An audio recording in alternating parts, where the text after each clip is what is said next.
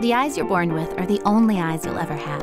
Why trust your care to anyone other than the Gailey Eye Clinic? For every stage of life, whether it's an eye exam, cataract surgery, or laser vision correction, trust Gailey.